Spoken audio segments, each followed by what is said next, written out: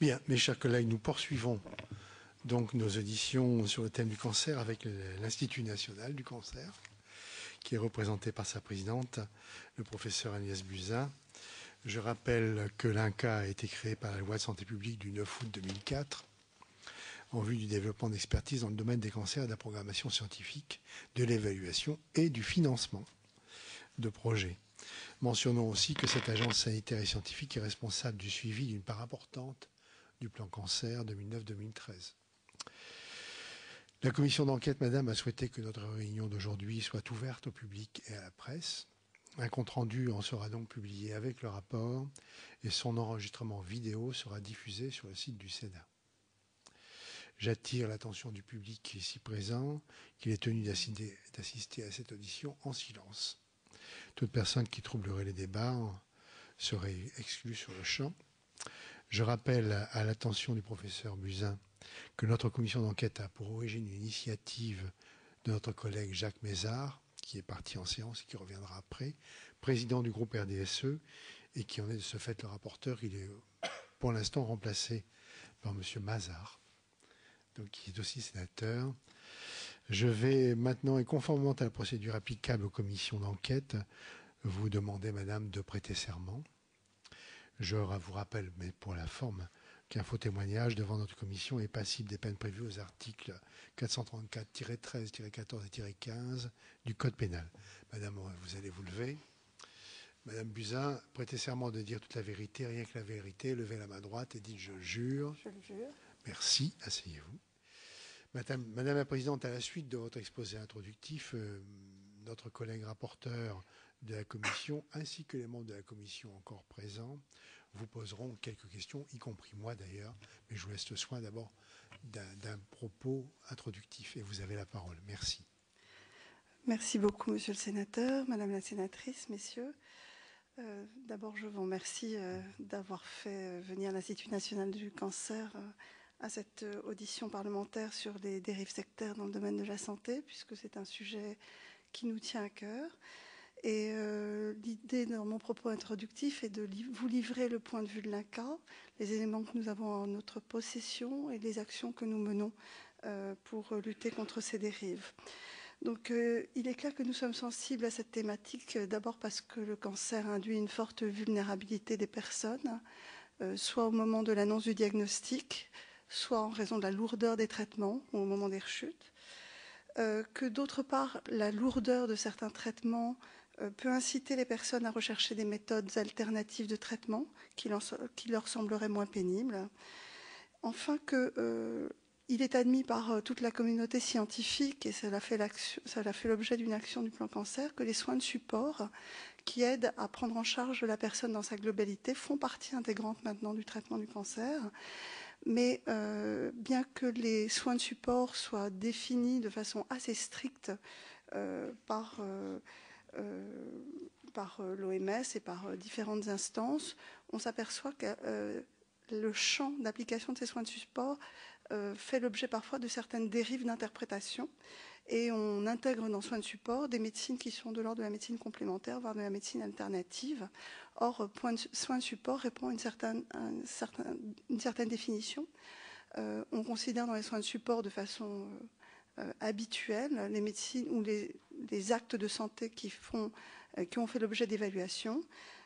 il s'agit de la nutrition et de la diététique, il s'agit de la kinésithérapie de la rééducation fonctionnelle, de la psycho-oncologie, de la prise en charge de la douleur et euh, des soins palliatifs. Éventuellement, on considère aussi dans soins de support tout l'accompagnement social. Donc, euh, au-delà de cette définition, nous ne sommes théoriquement plus dans les soins de support. Et on arrive donc dans euh, les médecines complémentaires ou alternatives qui, là encore, répondent à une définition bien précise. On considère comme médecine complémentaire des, des actes de soins euh, qui ne vont pas s'opposer au traitement conventionnel, hein, qui vont être donnés de façon complémentaire, euh, mais qui ne mettent pas en danger les personnes. Euh, là encore, on voit quelques dérives dans les médecines complémentaires, j'en ferai part tout à l'heure. Et puis, on considère comme médecine alternative les médecines qui vont s'opposer aux médecines évidemment conventionnelles et qui vont mettre en danger les personnes soit par des retards au diagnostic, des retards aux prises en charge, voire des contre-indications du fait d'effets secondaires des, traitements. Donc le principal problème, ce sont évidemment les médecines alternatives qui, pour nous, euh, sont euh, souvent des médecines euh, qui rentrent dans le cadre des, risques de dérive sectaire. Donc, ces médecines non, conventionnelles, dites naturelles, elles sont en fait assez prisées quand même par les patients. Si on regarde l'ensemble de médecines complémentaires et alternatives, 75% de la population y a recours au moins une fois dans sa vie, en général, en dehors du champ du cancer. Et 30% des patients atteints de cancer euh, voire peut-être la moitié, puisque euh, certains n'en font pas part à leur médecin, donc ce sont des enquêtes difficiles, vont faire appel à des traitements complémentaires ou alternatifs. Donc ça représente un vrai enjeu de santé publique pour nous. Donc euh, nous considérons qu'il y a des, signes d'alerte qui font rentrer dans le champ des médecines alternatives, qui sont le dénigrement des traitements proposés par les médecins, le fait de recommander l'arrêt des traitements standards conventionnels, le fait de demander un règlement financier par avance ou des séances gratuites d'essai, des médecines qui euh, prétendent agir à la fois sur le physique et le mental, euh, et puis euh, toutes, les pratiques qui amènent le patient à s'éloigner en fait de son entourage familial. Et les personnes que nous considérons à risque d'entrer dans cette démarche de médecine alternative sont des patients qui ont été souvent insuffisamment pris en charge au moment de l'annonce du diagnostic, avec un délai d'attente parfois très long entre l'annonce du diagnostic et la prise en charge effective par une équipe médicale euh, appropriée, euh, qui laisse le patient dans un certain état d'errance, une perte de confiance dans l'équipe médicale pour X raisons, ou la sensation que l'équipe médicale n'est pas à l'écoute du retentissement des traitements euh, sur l'état physique et sur euh, l'état général du patient. Et qu'en fait, on n'offre pas à ces patients suffisamment d'accompagnement en soins de support qui pourraient déjà partiellement, en tous les cas, les accompagner dans leur, euh, dans leur traitement. Alors nous avons été en, 2000, en 2011, nous avons mené une action commune avec la Mivilude euh, qui était une action de sensibilisation contre les euh, risques de dérive sectaire euh, dans le domaine du cancer. Nous avons mené cette action avec les différentes fédérations hospitalières, la Ligue contre le cancer, la Fondation ARC et le Conseil national de l'ordre des médecins. nous avons fait une plaquette d'alerte des patients, de leurs proches, mais également des médecins, qui donne justement les signaux d'alerte que je vous ai cités tout à l'heure, euh, qui euh, suggère aux patients qu'ils peuvent avoir recours à la ligne Cancer Info Service, qui est une ligne d'information euh, qui, est, prise en charge par l'INCA, qui permet de mieux orienter les patients et les alerter sur ces risques. donc cette plaquette est à votre disposition. J'ai fait un petit bilan de la diffusion de cette plaquette il y a eu 10 000 affichettes publiées, 60 000 dépliants euh, de ce type euh, qui ont été envoyés euh, au réseau institutionnel, c'est-à-dire les ministères, les agences sanitaires, les instances de gouvernance, les agences régionales de santé, aux professionnels de santé dans les établissements de soins autorisés, aux sociétés savantes, aux fédérations hospitalières, aux réseaux régionaux de cancérologie, aux associations comme la Ligue contre le cancer, et dans les espaces d'information des patients dans certains euh, centres hospitaliers ou centres de lutte contre le cancer. Euh, pour l'instant, 567 euh, commandes ont été enregistrées au 15 décembre 2012 pour un volume de 4700 affichettes, panneaux d'affichage dans les établissements, et 32 000 dépliants distribués théoriquement aux personnes malades ou aux proches. Et le profil des personnes ayant commandé, c'est pour un quart des établissements de santé, un quart des professionnels de santé, majoritairement des infirmiers, cancérologues ou psychologues, 14% des lieux d'information, 13% des associations et 8% des patients ou des proches.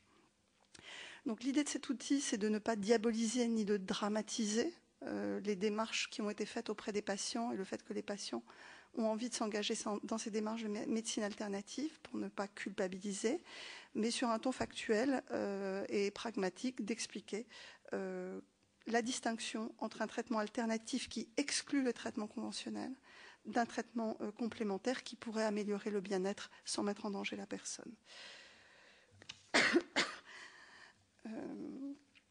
Voilà, donc si je peux faire un petit résumé, quand on, quand on fait une enquête auprès des patients sur euh, le recours aux médecines alternatives, ça a peut-être été dit par mes collègues précédemment, quand les 30% des patients avouent euh, avoir eu recours à ces médecines alternatives ou complémentaires et qu'on leur demande la raison pour laquelle ils ont euh, adhéré à ces démarches. 85% d'entre eux, c'est vraiment pour mieux supporter les traitements qu'on leur donne, mais quand même 27,5% pour traiter le cancer lui-même et donc non pas de façon complémentaire, mais bien alternative au traitement, euh, ce qui est pour nous un signal d'alerte, bien entendu. Et alors, je voudrais revenir un tout petit instant sur les médecines complémentaires. Il est vrai qu'elles sont considérées comme non dangereuses puisqu'elles ne s'opposent pas au traitement conventionnel.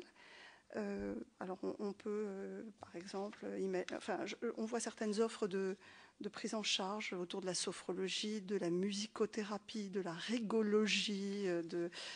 il faut quand même retenir que ce ne sont pas des médecines évaluées, que les professionnels qui les mettent en œuvre ne sont pas forcément des professionnels de santé, euh, qui n'ont pas forcément euh, la même déontologie, ne sont pas soumis au secret médical, euh, qu'on ne connaît pas très bien leur hiérarchie le suivi de ces pratiques dans les établissements hospitaliers. Et donc même s'ils ne se sont pas ce sont en général des bénévoles, ce sont des, prises en charge non payantes, vraiment faites pour le bien-être des personnes, et je ne remets pas en cause la volonté de bienfaisance des personnes qui prennent en charge ces médecines complémentaires. Je pense qu'il faut quand même garder un petit point de vigilance, parce que je ne pense pas que ce sont des dérives sectaires. Pour autant, ce sont euh, des, pratiques quand même peu accompagnées et peu évaluées. Euh, voilà, donc je, garde un petit bémol euh, sur ce risque-là qui n'est pas toujours bien évalué par les établissements de santé. Voilà, je vous remercie de votre attention.